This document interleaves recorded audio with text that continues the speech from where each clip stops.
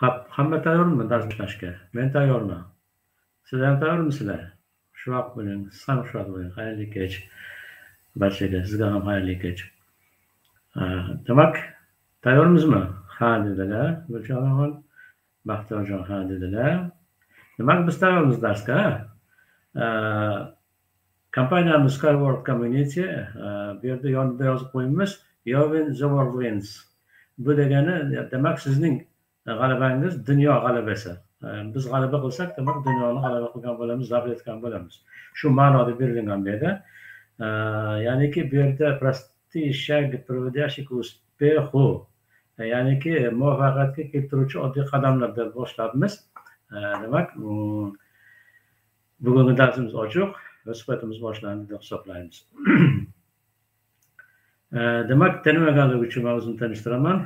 Rasulov Anvar bir ming to'qqiz yuz yetmish yettinchi bir ming to'qqiz yuz to'qsoninchi yillarda aloqa tizimida muhandis bo'lib ishlaganman e, bir ming to'qqiz yuz to'qson to'qqizinchi yildan ikki ming o'n to'rtinchi tadbirkorlik bilan shug'ullanganman. E, tadbirkorlik ham qandoqki e, kompyuter ustaxonalari kompyuterlarni keltirish internet rivojlantirish internet tashkillashtirish va internet xizmatlarini ko'rsatish va kompyuter xizmatlarini ko'rsatish hamda katta katta tashkilotlarga demak ichki aloqa tizimlarini barpo qilish ichki shunaqangi ya'ni kamera bo'yicha ishlaydigan qilishlik bilan shug'ullanganman ikki ming o'n to'rtinchi yil skavay haqida xabar topganimdan keyin birinchi ikki ming o'n to'rtinchi yil e, emas edi ikki ming o'n uchinchi yil dekabr oyida antoni dojuniskiy demak o'zini birinchi konferensiyasini e, skype orqali o'tkazgan. Skype orqali e'lon qilib shunaqangi bir e, shunaqa bir texnologiya haqida gapirganda biz uni dallab jon jondan qo'llab quvvatlab va po'latxon aka bilan birgalikda abdullaxon po'latxon aka ikkovimiz maslahatlashib shu kompaniyaga kirganmiz. O'shandan beri urushlar bo'lib kelamiz. Hozirgacha biror oy o'tkazmasdan har oy oyma oy to'lovlarni qilib e, o'zimizni urushlarimizni oshirib bormoqdamiz ikki ming o'n sakkizinchi yilda skyway kompaniyasi region rahbarlikka tayinlandim e, region rahbari bo'lib o'sha kundan beri hozirgi kungacha xizmat qilib shunaqa regionni rivojlantirishda undan tashqari o'zimizdan tashqari boshqa regionlarda dubaylarda safarda bo'lib eronda pokistonda qirg'izistonda qozog'istonda rossiyada belarusiyada ko'p vaqtlarimizni yevropa mamlakatlarida o'tkazib shu texnologiyani rivojlanishga o'z hissamizni qo'ldan kelgancha qo'shib kelyapmiz va buni sizlarga ham taklif qilamiz inshaalloh birgalikda hammamiz bu narsani maqomiga yetkazamiz demak ketdik keyingi slaydimiz biz o'tgan safar e, gaplashib o'tdik. Biz besh yulduzlik beshta yulduz turibdi mana ko'rgan bo'lsangiz ekraningizda service system ya'ni sotish tizimi. Besh yulduzlik sotish tizimi. O'rganishdagi to'rtta qadamimiz bor. Biz bu modulda o'rganish davridagi to'rtta qadam haqida suhbatlashamiz. Mana hozirgi e, modulimiz mana shu hozirgi birinchi darsimiz ya'niki to'rt qadamli sotishni nima ekanligini kirish qismi deb hisoblasak bo'ladi. Bu haqda suhbatlashib e, tushunchaga ega bo'lib boramiz. Kimda qanaqa savollar bo'lsa e, oldingi darslarimiz savollarni oxirida berardik. E, bu darslarimizda shundoq qilamizki tushunmagan joyi bo'lishligi bilan savolni beramiz savolga javob berib ketaveramiz. Birdaniga shu muloqot shaklida o'tkazamiz hozirgi darsimizni bugungi darsimizni.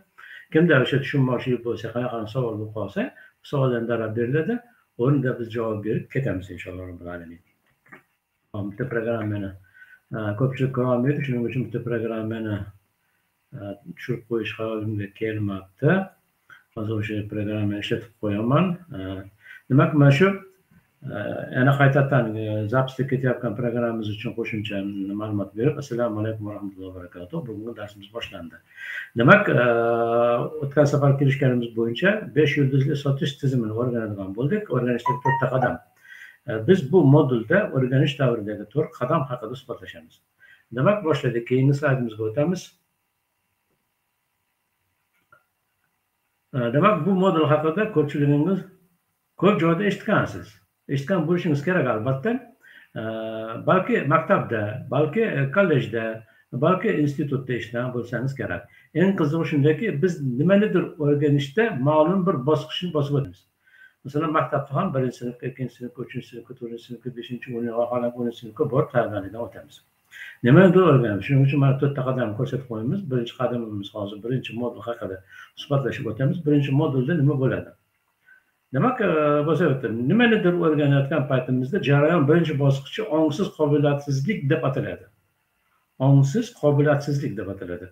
Bu nima ekan haqida buni nimaligini tushunmaymiz. Shuning uchun ongsiz qobiliyatsiz deganimiz qobiliyatimiz yo'q. Bu biz o'rganayotgan narsada qobiliyatimiz yo'q biz birinchidan. Ikkinchidan hayolimizga ongimizga sig'dira olmaymiz nima ekanligini shuning uchun ongsiz qobiliyatsiz deb ataladi bu birinchi pog'onamiz. Bu esa shuni bilmasligimizni anglay olganimizni e, e, olmasligimiz. Ya'ni bilmaydigan narsamizni bilmasligimizni ongimizga sig'dira olmasligimiz. Ajoyib bilmaydigan narsamizni bilmasligimizni ongimizga sig'dira olmasligimiz. Ajoyib bir narsada bu. Shu yerda aytib o'tayin bu to'liq mana bu narsa hammasi bu prezentatsiya. Xalqaro trener maykl bent degan e, kishini treneri ko'p kompaniyalarni ko'targan trener darslari bu. Bu darslar inglizchada ruschada bo'ladi. Bu darslar hamisha e, inglizchada ruschada qatnashilgan yevropa mamlakatlarida borib o'qib kelganmiz. Bu narsani biz o'zbekchaga tarjima qilib bu bo'layotgan narsada bir ikkita so'zlar bir ikkita e, imlo ma'nolari bir ikkita bizga tilimizga bizni e, mentalitetimizga yaqinroq bo'lgan so'zlar qo'shilingan asli esa ayni tarjima ayni tajriba ya'ni buni e, bankni o'sha inglizcha darsini tarjima qilingan o'shandan olingan holatda o'tgan safar uni tarixi haqida nima uchun bu dars boshlanganligi qayerdan qanaqangi nimalarni o'tganligi haqida gapirib o'tganmiz e, demak ya'ni bilmaydigan narsamizni bilmasligimizni ongimizga sig'dirolmaymiz masalan sotuvchi e, sotuvchilikni olaylik kimdir? Sovg'a savdo tashkilotida sotuvchilikka ishga boradida hamma narsani bilaman deb o'ylaydi keldida ko'chada bilmayman endi bir bo'lishi mumkin olishimiz mumkin shundoq aytaylik nima deyishimiz mumkin? Mana masalan aytaylik e, o'zbekistonda bizda ayniqsa vodiyda shunaqaki mana qorasuvdan kimdir nimalarni olib kelib bozorda sotgan. O'shani sotib man olib kelib sotishni bilaman degan e, fikrga boradida bu esa ayni xatoni o'zginasi bo'lib chiqadi aslida. E, demak ketdik. Shu sohada tegishli bo'lgan narsalarni kechirasiz hozir menda ekran o'chish bo'ldi. Demak hamma narsa bormi sizlarda? Man ekranni ko'rmayapman.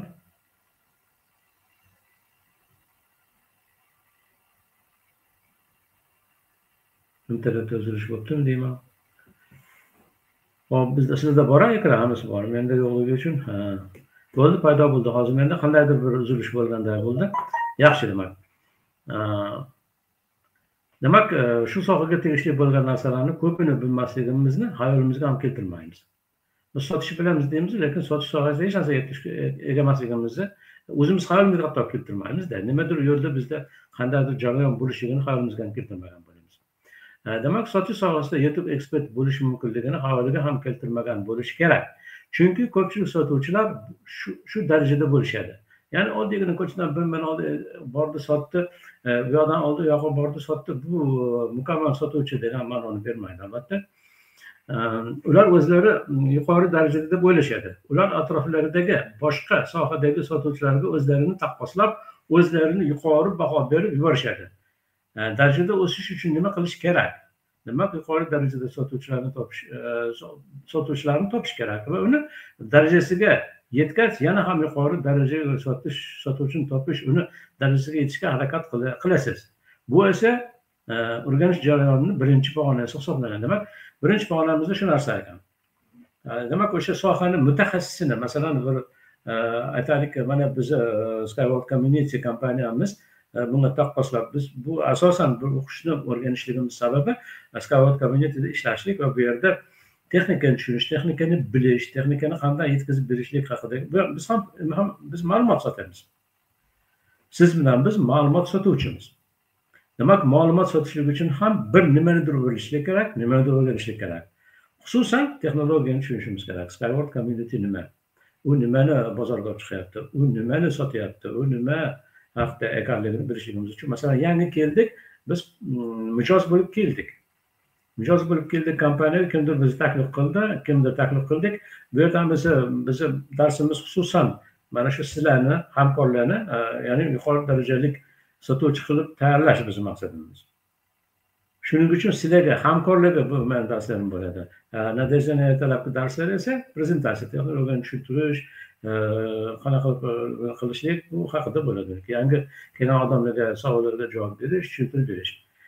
Bizni darsimiz esa bu jarayonni qanday mukammallashtirish haqida bo'ladi shuning uchun mm, sizlarni hammangizni bizni biznes hamkorlarimiz sifatida va sizlarga e, shu nyuanslarni bildirish uchun mm, mijozlar bilan qanday ishlashni o'rgatish uchun bu darslarimizni tashkillashtirganmiz. Demak biz mana shu narsani demak e, keldingiz mijoz bo'lib keldingiz e, prezentatsiyaga bordingiz o'rgandingiz sizga bu texnologiya to'g'ri keldi hamkor bo'ldingiz.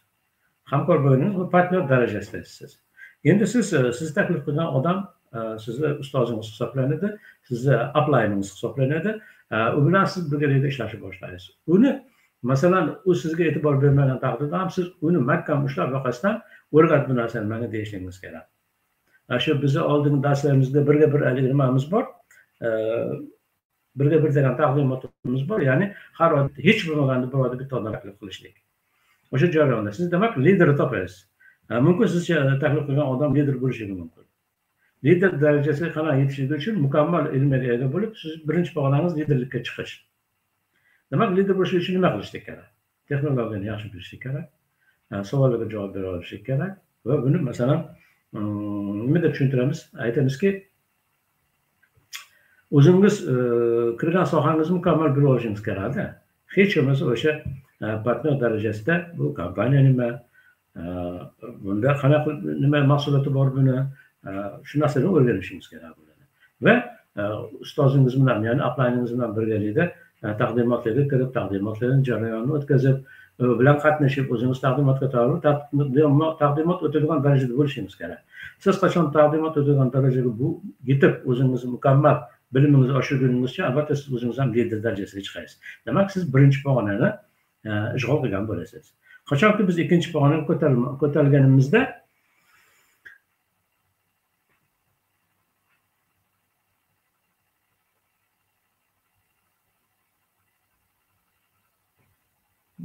demak ikkinchi pog'onaga ko'tarilganimizda nimanidir bilmasligimizni tushunib yetamiz. Demak biz texnologiya haqida e, bilmaganligimizni ya'ni biz o'rgandik. Texnologiya nima u? E, qanaqa transport bu? Qanaqa harakatlanadi bu qachondan e, bunga harakat qilinadi? Qaysi olim buni ixtiro qilgan? U qancha vaqtini bunga sarf qilgan? Shunisining dastlabki ma'lumotlarni ya'ni bu kompaniya nima yer usti yuradigan transport u relsda yuradi buni unibuslarda degan e, buslari bo'ladi. Ular e, avtonom energiyadan foydalangan holatda to'rtta g'ildiragi bo'ladi to'rtta g'ildiragi sinxron ishlaydi. Oldindan izlaga ya'ni o'sha temir izlaga rels deymiz o'sha relsga tok berilgan bo'ladi u e, harakatlanadi to'rtta g'ildirakdan bittasi ishlamay qolsa ham bittasi uchtasi e, ishlamay qolgan holatda ham bittasi ishlab tursa ham u harakatlanib oladigan qobiliyatga ega bo'ladi yoki tizimda e, o'sha relsda temir yo'lda tok yo'qib qolganda o'zini akkumulyatorni hisobiga yuz kilometrgacha bora oladigan narsa bo'ladi shu narsani bilamizda demak shuni biz tushunib yetamiz o'shani bilmaganligimizni uni o'rganganimizdan keyin birinchi pog'ona o'tganimizda tushunib yetamizda undan keyingi darajada nimalar bor? Uni bilmaymiz. Ya'ni qobiliyatsizlikka anglab yetish pog'onasi ikkinchisi qobiliyatsizligimizni anglab yetish pog'onasi demak ikkinchi pog'ona ikkinchi jarayon demak mm, o'zimizni qobiliyatimiz yo'qligini ozgina hech bo'lmaganda ozginagina transport haqida ma'lumot bilamiz lekin uni davomidagi ma'lumotlar ya'ni keyingi etapdagi bo'ladigan jarayonlarni biz bilmaymiz. Shuning uchun ikkinchi pog'onani e, qobiliyatsizlikni anglab yetish pog'onasi deymiz. U yerda biz e, o'rgangan narsalarimizni analiz qilib ko'rganimizdan keyin nima hech narsani bilmasligimizni e, bilamiz. Masalan e'tirozlar bilan ishlashni bilmaslik.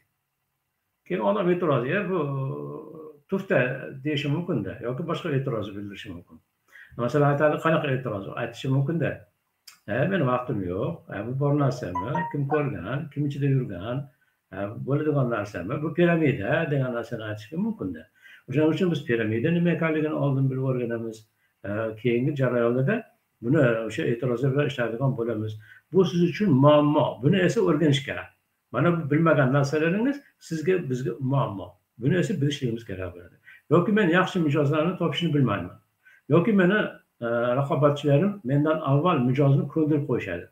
Man bir kishini taklif qilib borsam u allaqachon boshqa odam taklif qilgan bo'ladi yoki men taklif qildim e, masalan shunaqa qiziq voqea bo'lgan bu hayotdagi narsadan aytib turishlik kerak aytib o'tishlik kerak hayotdagi narsani masalan aytaylik ikki ming o'n to'qqizinchi yili biz juda katta anjuman o'tkazdik. Э, Odamlar bir birini taniydigan odamlarni ko'p yangi odamlarni taklif qildik.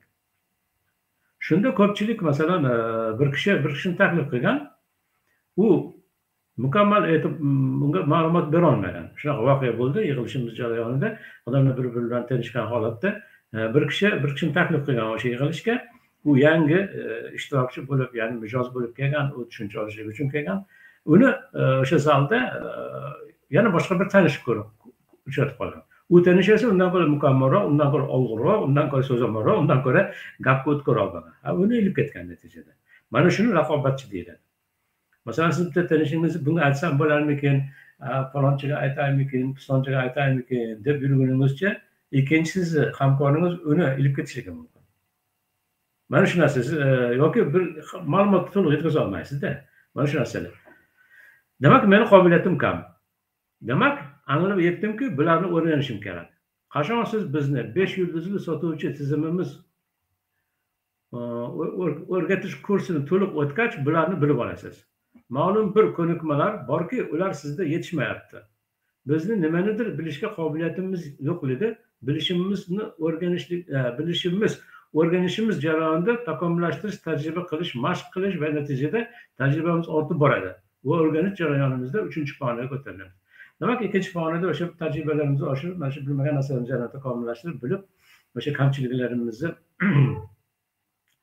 e, demak nima qilamiz? Kamchiliklarimizni butlaymizda bu e, keyingi uchinchi pog'onaga harakatlanamiz busiz bo'lmaydi albatta. Hamma narsa ham sekin asta asta pog'ona va pog'ona darajama daraja ko'tarilib boriladi. Masalan e, lider bo'ldingiz lider bo'lganingizdan keyin bu masterlikka harakat qilasiz masterlik harakat qilishligingiz nima? E, bizda ko'proq shunaqa iborani ishlatamizki aytamizki master bo'lishni istasangiz o'zingizcha takliflaringizdan uchtasini lider qiling. Uchta hamkorimiz lider bo'lishligiga yordam bersangiz albatta ular uchta hamkorimiz lider bo'lishligi sizni master bo'lishingizga e, zamin yaratib beradi.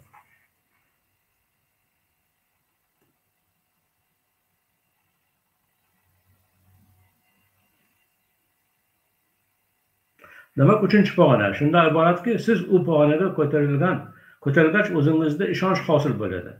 Siz qilayotgan ishingizni ongli qobiliyat bilan yondashasiz.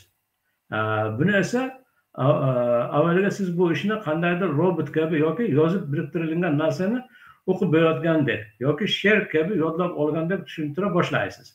Buni mijozlar ham sezadi. Ko'plab mashq qilishingiz sabab o'zini sababli o'zingiz ustingizda ishlab tajribangizni oshgan sari siz to'g'rinchi pog'onaga ko'tarilasiz bu bosqich shundaki uni nomi ongsiz qobiliyat deb ataladi. Ongsiz qobiliyat ya'ni siz hozir nima desa bo'ladi? Uchinchi pog'onada shunaqa holatda bo'lasizki mana masalan master holatdasizda e, bu qobiliyatingiz bor. O'rgatib tushuntiryapsiz lekin ongsiz darajada. Ba'zi bir narsalarni e, shifolarga ishlatasiz yoki o'qib kitobdan o'qib berasiz yoki yozgan narsangizni slaydingiz orqali slaydni ko'rib tushuntirib bera olasiz. Slaydni o'zini tushuntirib bera olmaysiz. Masalan doskaga e, chizib yo'lni chizib Э, o'zimizcha bir ijodlarni qilib tushuntirib bera olmaysiz faqat e, oldingizga qo'yib qo'ygan slayd bo'yicha e, o'sha banner bo'yicha tushuntirib bera olasiz buni ongsiz qobiliyat deyiladi. Qobiliyatingiz bor tushuntirib beryapsiz boshqa qilyapsiz lekin e, o'zingiz nima desa bo'ladi? Ixtiyoriy holatda shunday uyg'otganda turib devorga yozib chizib tushuntirib ketolmaysiz buni ongsiz nima buni ongsiz qobiliyat deyiladi. Misol tariqasida sportchilar ko'p mashq qilish natijasida to'qimalari ko'nikib qoladi. Masalan mushaklar masalan nima deydi? Meshishniy pamять deydi e, tosh ko'taravergan odam yoki bir haligi bir mashhur doimiy bokschi yoki futbolchi uni mushaklari o'rganib qolgan bo'ladi. Mana shuni haligi e, to'qimalarni ko'nikmasi deb ataladi. Sizni mushaklaringiz beixtiyor mashqni bajaradigan bo'lib qoladi. Buni mushaklar qobiliyati deb ataladi. Demak siz uchinchi qobiliyat uchinchi darajada shu qobiliyatga kelasizki qobiliyatingiz bo'ladi. Lekin u ongsiz darajada bo'ladi. Hali ko'p e, yana bir e, bilishingiz kerak bo'lgan e, ya'ni misol e, aytaylik o'sha mukammal yodingizga xotiringizga joylashmagan ma'lumotlar bor. Xotiraga hali to'liq joylashmagan ma'lumotlar bo'ladi. Bismillah. Alhamdulillah. Demak biz uchinchi qobiliyat o'sha bundan keyin to'rtinchi qobiliyatga ya'ni o'sha ongsiz qobiliyat qobiliyatimiz borligini bilamiz lekin ongimiz unga yetarli darajada emasligini bilganimiz buni sezganimiz biz o'sha to'rtinchi pog'onaga chiqishligimiz uchun e, zamin bo'ladi.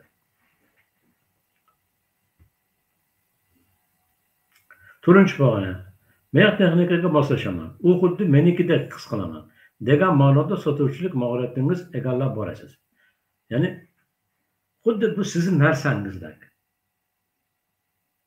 nima deysiz? Vujuddan bog'lanib ketgan bo'lasiz. Shunchalik bog'lanib ketasizki bir jasad singari bo'lib ketiladida texnika bilan. Masalan haligi nima deydi? Hmm, haydovchilar.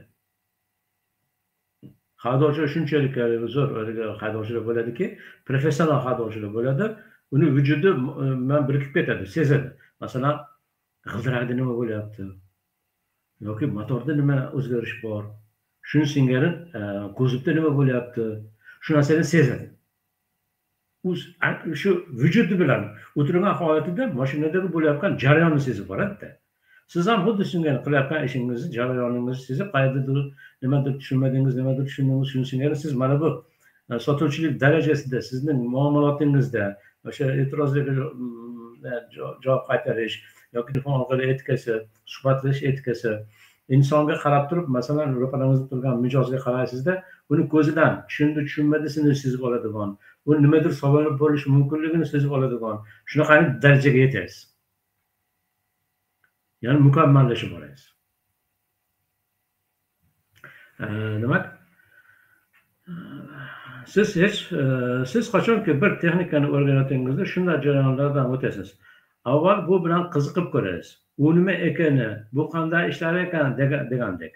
Uzoq o'tgach o'rganib ko'rgach ha men buni bilmas ekanman deysiz. Uni o'rganasiz va ko'p marotaba amaliyot qilasiz. Va ko'proq tushunib borasiz. Bora bora bu narsaga ko'nikib borasiz. U bilan bir vujuddek azaldek uni bilgandek bilgan odamdek hissiyot paydo bo'ladi. Masalan ko'z oldingizga keltiring. Sizni besh qavatli uyingiz bor. Agar biz birinchi qavatga bir birinchi qavatni olsak bu birinchi qavat bir yulduzlik sotuvchilar turadi. Ya'ni o'sha bilmagan holatda keldi endi kelgan shogird o'sha partnyorlar bu yoqda turadi birinchi qavatda. Endi ikkinchi qavat esa ikki yulduzlik sotuvchilar. Bular u yoqda liderlar bor endi. Uchinchi qavatda endi masterlar bor uch yulduzli sotuvchilar bor. To'rtinchi qavatda to'rt yulduzli sotuvchilar bor. Bular endi ekspertlar.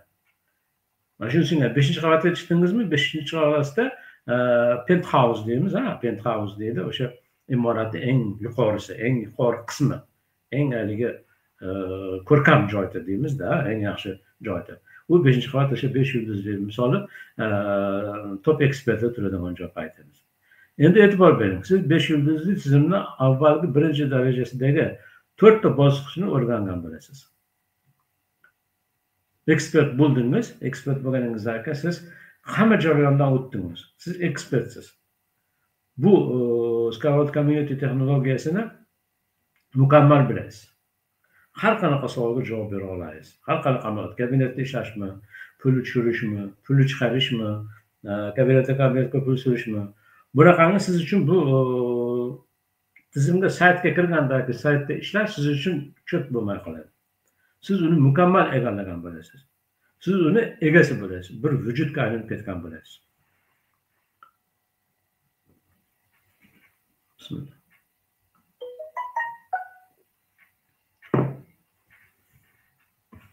demak siz o'sha besh yulduzli sotuvchilar tizimini asosiy bilimlarini egallaysiz. Natijada siz ko'proq bilimga ega bo'lasiz. Har bir qavatdan o'tgan sari siz ko'proq bilimga ega bo'lib borasiz. Qachon siz eng yuqori qavatga ko'tarilganingizda siz besh yulduzlik sotuvchi tizimini mukammal sohibi bo'lasiz mana shu bosqichga bosqichma bosqich o'tish jarayoni astoydil ter to'kib jiddiy mashq qilsangiz to'qson kun ichida besh yulduzlik sotish tizimining mutaxassisi bo'lib biznes olamida murabbiy bo'lib e, rohat farog'atda o'z tizimimizni yaratib biznesingizni ham yuqori darajalarga ko'tarilasiz. Bu albatta yengil bo'lmaydi. Demak mana shu mana chizib qo'yamiz ekraningizda ko'rib turibsiz birinchi qavatda bitta yulduz ikkinchi qavatda ikkita yulduz uchinchisida uch to'rtinchisida beshinchisida besh yulduz turibdi. Demak siz bu narsaga yetishlik uchun uzluksiz. Mana shu jarayonni hammasini. Biz hozir mana pog'onama pog'ona ko'rdik to'rtta o'sha jarayonda to'rtta modulda ishlashligimizni bildik. Bitta bu modullarni keyingi darslarimizda mukammal ko'rib boramiz. Demak e, tushungan bo'lsangiz bu o'rinda mm, demak siz o'sha mukammal hamma jarayonni o'tganingizdan keyin qo'rqmasdan xotirjam o'sha e, murabbiylik qila oladigan e, bu narsani sotish bo'yicha bu texnologiya hayvon community kompaniyasini butun tizimi bo'yicha o'rganib bo'lgan u to'qson kun masalan biz to'qson kunda deymiz balki to'qson kunga bormasdan biz undan tezlashib ketadi ko'ramizda qobiliyatga qarab o'rganishga qarab ko'rib boraveramiz. Har kim o'zini tayyorlab borishi kerak savolni bo'lsa tushunmagan joyda berib borishi kerak nimani tushunmadingiz? Darrov ustozga murojaat qilib. Ya'niki biz bitta jamoamizda jamoa bo'lganda bir biriga yordam berib ko'maklashib yangi darajaga chiqib borishlik kerak. Mana o'ttiz birinchi kunisi mm, indinga namanganda yig'ilish bo'ladi e'lon berganmiz yig'ilishda qirg'izistondagi partnyorimiz kelyapti ular o'zi prezidentga kirish jarayonida turibdi ular mana dubayga dubaydagi ekobog'imizga ularni bir deputatlari bordilar u deputat ismlari yodimda emas demak u kishini ikkita avtomobil korxonalari bor ekan avtomobil logistika yuk tashiydigan ikkita korxonalari bor ekan. Avtomobilda yuk tashiydigan ikkita korxonalari bor ekan. Hozir beshinchi aprel kuniga prezident bilan uchrashuv tayin qilingan. Ular kelishadi patela bilan turmush o'rtog'i talant keladi. Bu yerda butun vodiy bo'yicha e'lon berganmiz. Farg'onadan andijondan qo'qondan toshkentdan samarqand jizzax sirdaryo hamma barcha barcha viloyatlardan e, hamkorlar kelishadi. E, yana undan tashqari e, yangilarni boshlab kelish kerak. Mana kecha mo'g'ul kuni menga shaxsan meni shaxsiyatimga manga chiqib shaxsiy chatimga chiqib asarbek savol berdilar yangilarni olib boraymi deb albatta yangilarni olib kelish kerak. Rossiyada bilasizmi? Unaqangi shunaqangi ko'rinishlar bo'ladi qirg'izistonda. Ham har bitta keladigan liderga har bitta keladigan nimaga o'zi partnyorga aytiladi. Hech bo'lmaganda ikkita odam olib kelasan deyiladi biz unaqa yuklamay qo'ymayapmizda kelinglar marhamat yangilarni olib kelinglar o'zinglar bir ishga kimgadir ma'lumot bergansizlar u tushunib yetmagan siz tushuntirolmagansiz shunaqa odamlarni bemalol olib kelinglar o'sha sizni mehnatingiz bo'ladi. Aytyapmiz bu narsaga erishishlik uchun bu besh yulduzlik e, sotuvchi bo'lishlikka ancha ter to'kish kerak bo'ladi ancha jiddiy mehnat qilishga to'g'ri keladi. Kechasi uxlamasdan o'rganib chiqishga to'g'ri keladi. Hattoki darsni shunaqa tayyorlash kerak bo'ladiki kechasi tushingizda ko'rib chiqadigan darajaga yetasiz.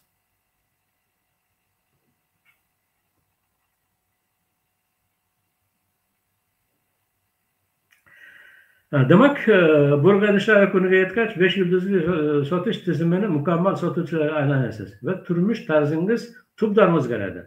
Biznes binosining penthausda yashashni boshlaysiz. Buning uchun esa har bir qavatda dadil qadamlar bilan o'tish kerak bo'ladi. Sizlar men ko'rsatayotgan yo'ldan og'ishmay darslarimizni barchasini o'zlashtirib borsangiz daqiqa.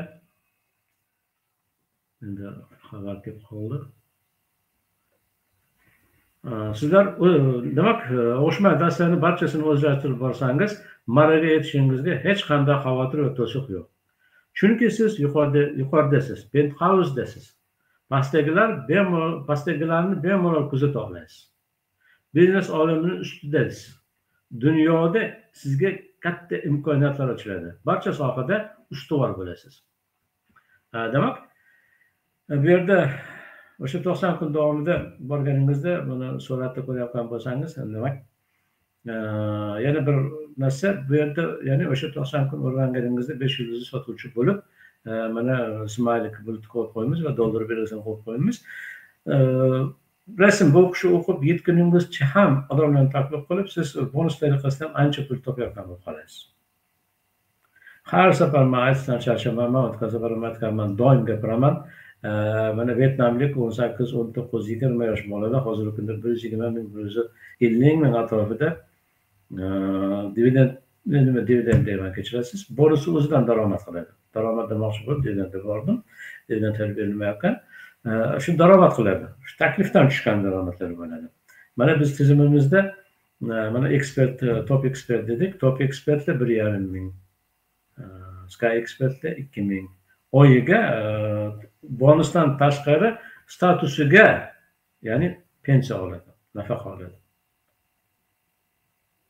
shu darajaga harakat qilishligimiz kerak qayerdadir nimadir boshqa ishlarga yugurib umrimizni o'tkazgandan ko'ra baribir hamma joyda ishlashlik kerak masalan ko'chada pista purushlik qilsangiz ham o'sha pistani qovurib e, olib chiqib sotishingiz kerak harakat qilishingiz kerak o'shani pistani qovurib olib chiqib sotmasangiz sizga daromad kelmaydi hamma ishda ham mehnat keladi kerak lekin bu yerda astoydil olti oy yaxshi mehnat qilsangiz u yog'iga mehnat qilmasdan e, daromad qiladigan e, turmush tarzingiz o'zgargan holatda yashaydigan bo'lib borasiz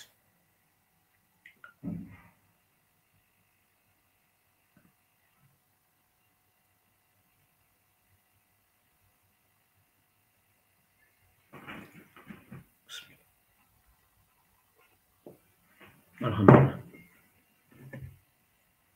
Nima sizlarni o'tirib qoldimi?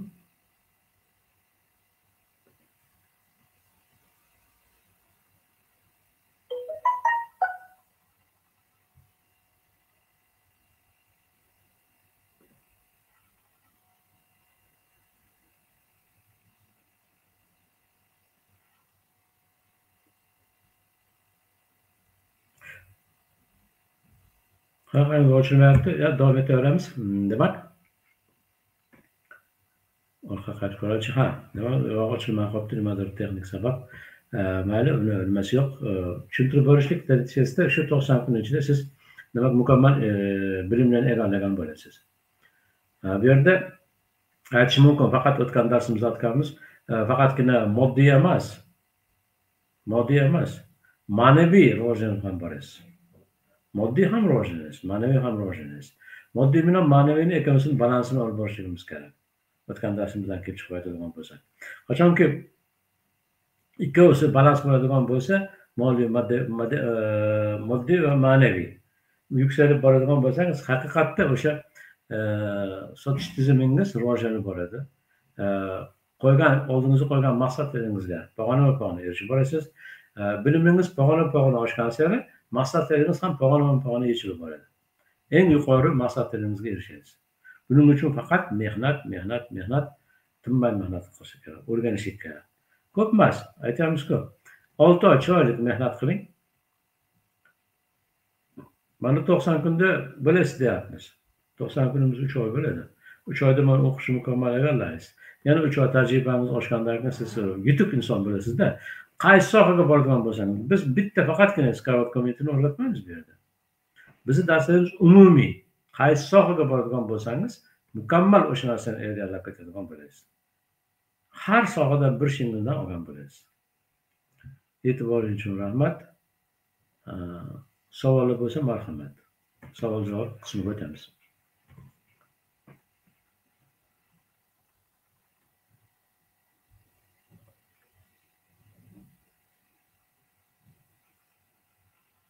Ustoz anjumanda qatnashish narxi qancha?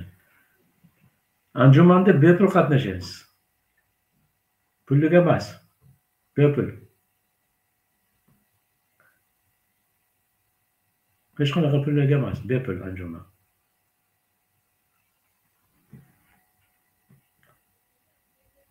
bu baxtiyorjon man aytdim mana patela keladi E, talant keladi. Ular o'sha e, borib nimalarni e, o'sha uchrashuv yunesko bilan ko'rishdi ular. Bog'ni akalasini sayr qilishdi. Ishlab chiqarishlarni borib ko'rishdi. Shartnomalar qilishdi. Juda mukammal u yoqda yaqin o'n besh kun yigirma kun yurishdida.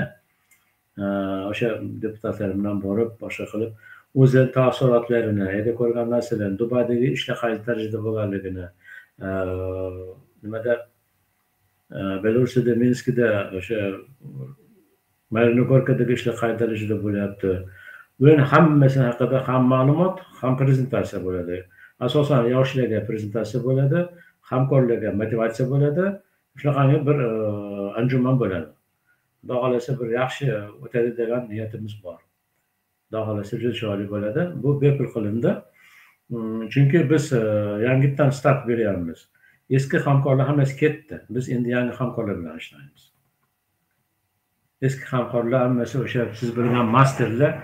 Umuman hech kim qiziqmay qo'ydi. Bitta mana siz ozmi ko'pmi harakat qilyapsiz.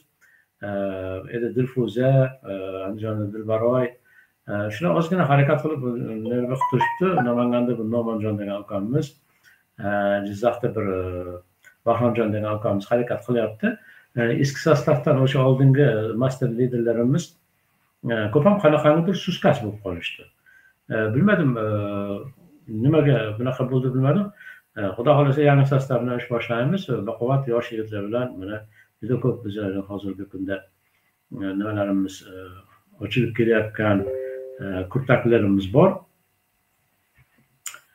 shunaqa mana dilfuza hozir mana zapisga tushdilar mani ekranim zapsda ketyapti o'zlari ishlar bilan bandlar mana hozir bu yoqqa kirish eslaridan chiqib qoldi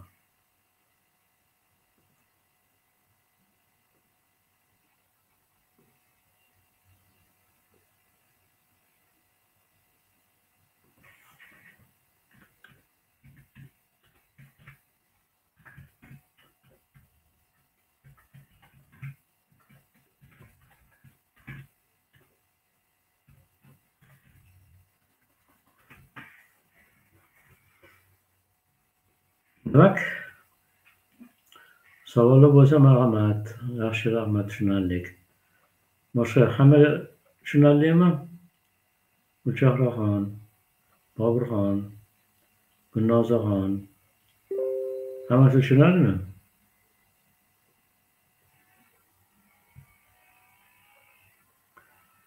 baxtiyorjon hammasi tushunarli ekan. Demak savollarga javob qildilar.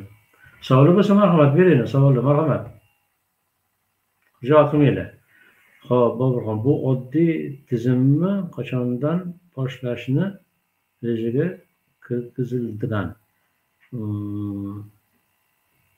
bu o'quv tizimi bu o'quv tizimi bilasizmi bu o'quv tizimi pullik. O'zi aslida pullik e, man e, bir ming ikki yuz dollar sarf qilib o'qib kelyapman yevropada. Hozir endi bu narsani e, mana shu darsni inglizchasi ruschasi Э, nimaga qo'yilgan? Kabinetga qo'yilgan kim? Uch yuz dollarlik investitsiya kirgizsa unga bu dars доступный bo'ladi. Mana shu o'qish e, o'n sakkizinchi o'n to'qqizinchi yillarda bo'lgan. Vengriyada bo'lgan. O'sha yerda o'qib biz. Bank o'sha yerda mm, jonlik dars olib borgan. Jonli darsda qatnashib kelganmiz lekin uni hamma darslari yozuv holatida hozirgi kunda kabinetlarda bor. Kim investitsiya e, summasi e, demak uch yuz dollarga yetsa unga darab ochiladi kabinetida. Mm, bilasizmi hozir hop kabinetda ko'rsatishga harakat qilaman. Kabinetda ko'rsatishga harakat qilaman.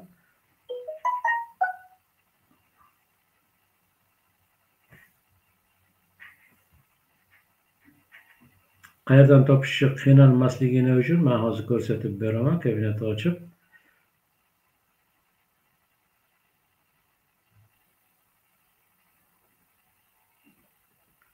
Demonstratsiyani ochayinchi. Hop demonstratsiya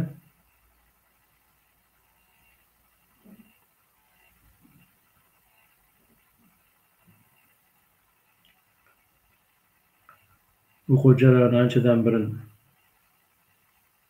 yo'lga qo'yilgan. Lekin biz o'zbekchaga tarjima qilib o'zbek auditoriyasiga yetkazishligimiz e, endi bo'lyapti.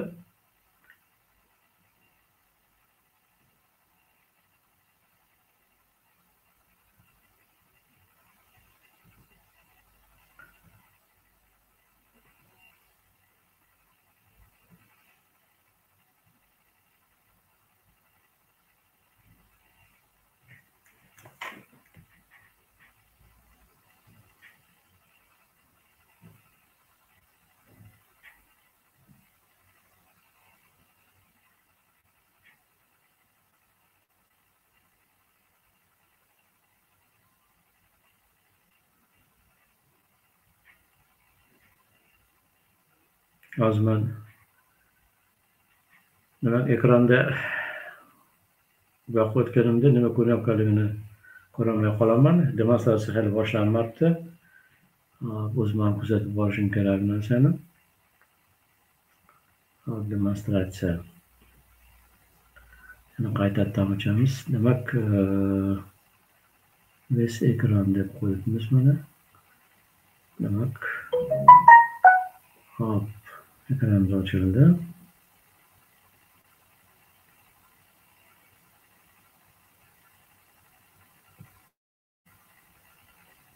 yaptı mı?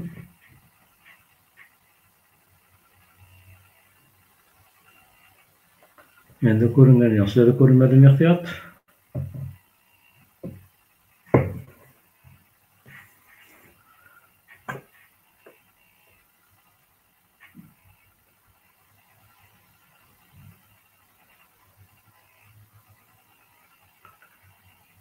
Ko'rinmadimi sizlarda?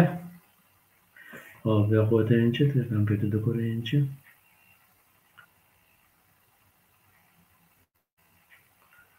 Bitta brauzerda ikkinchi brauzerni ko'rsatmadimi deyman.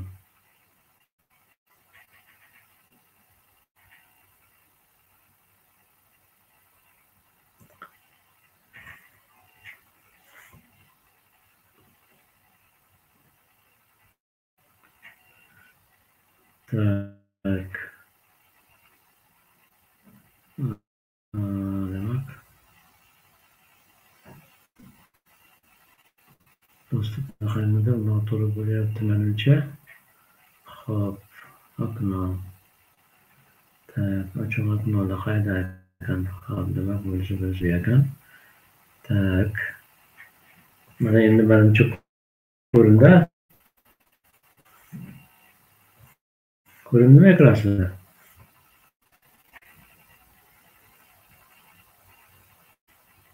ko'rinmayapti Xo'p, hozir man ko'ringan bo'lishligini ehtimoli nodon holatda demak kabinetingizga qachon kirganingizda birinchi oynada o'sha yangiliklar bo'ladi. Kabinetga kirishingiz bilan pastga chiqqaningizda o'sha o'qishlar hammasi bosh sahifada ko'rinib turadi.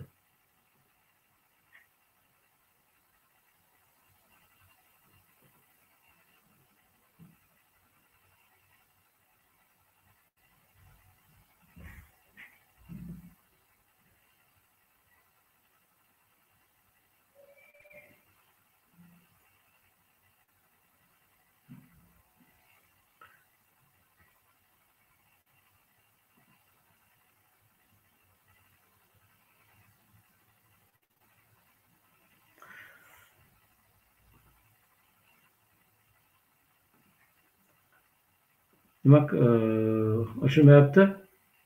Uzr endi masalasi ekran ochilmaydi qanaqanidir yana texnik nosozlik bo'ldi manimcha e, qisqasi o'sha kabinetingizga kirganingizda o'ng chap tomonda partnyorim degan e, nima bo'ladi? Podfayl bo'ladi. Partnyorimni bosgan paytingizda tagidan o'sha mm, bonusli programma statistika shuni qatorida обучение chiqadi. Обучение shundoq bossangiz kim uch yuz dollardan ortiq investitsiya kirgizgan bo'lsa o'sha odamni kabinetida michael bekni darslari bor undan tashqari mana hozir yana bitta dars qo'shilgan nimagadir man kabinetni ko'ra olyapman sizga ko'rsatib bera olmayapman facebookda kontaktda besh yulduz tizimlar bor yana o'sha yana andrey Askin deganni nimasi ham bor to'rida ozgina kurs ham bor как выбрать канал продвижения как создавать контент shunisini ham kontent tayyorlashlar bo'yicha bor ikkinchisi five star service systems deydi o'sha besh yulduzli mag'il bankni darslari ikkinchi o'sha bo'limda bor bu yerda bemalol ko'rish mumkin man kabinet qanaqangidir hozir texnik nosozlik bo'ldi ochib ko'rsatib berolmadi kabinetda demonstratsiya ekran qildim ko'rsatishga imkoniyat bo'lmadi ho'p yana savolda tushunmagan narsalar bormi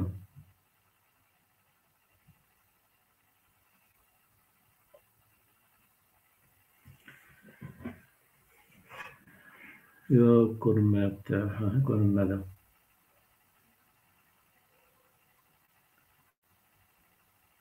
savol bo'lmasa demak bugungi darsimiz yakuniga yetdi hammalaringizga omad tilayman kelayotgan kelayotgan ramazon oylarida sog' salomat bu o'tkazib barakotli oiladan manfaatli chiqishinglarni hammalaringga so'rab qolaman. Kelayotgan ramazon barchanglarga qutlug' muborakli bo'lsin. Xayr omon bo'linglar. Sog' salomat oilanglarga baxt saodat uyinglarga tinchlik farovonlik rohat falohat tashrif buyursin.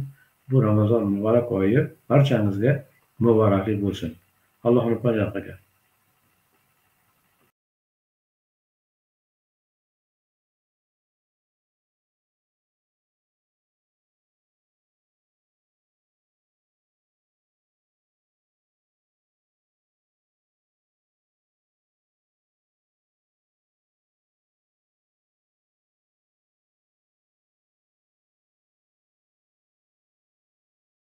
uni Ho'p.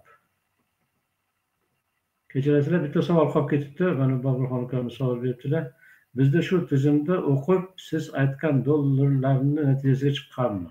Ha, juda ko'p odamlar chiqqan, juda katta daromad qilayotganlar bor. Masalan, o'sha nima deyishim mumkin? Siz e, master darajasiga chiqqaningizda kamida oyiga uch yuz dollar pul topasiz bizni sharoitimizda. Lekin master darajasida Yevropadagi odamlar uch ming yevro topadi oyiga. Bu har kim o'zini nimasiga bog'liq? Aytyapmanku yevropada uch ming topayotgan bo'lsa masalan ekspert e, darajasidagi odamlar masalan e, bizda e, besh ming dollargacha pul topgan e, ekspertlar mana vyetnamda bir yuz yigirma ming dollar topyapti yevropada ellik ming dollargacha pul topadi. Bu mumkin narsa.